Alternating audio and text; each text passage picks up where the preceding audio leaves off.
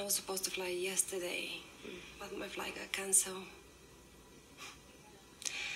Sent the travel across the globe. I couldn't even make it across the country. You, how did you end up working on Christmas? Oh, well, my daughter's birthday's on New Year's, so I